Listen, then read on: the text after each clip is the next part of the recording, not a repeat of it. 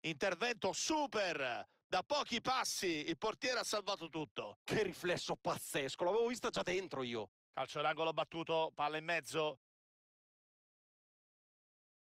Va per la porta,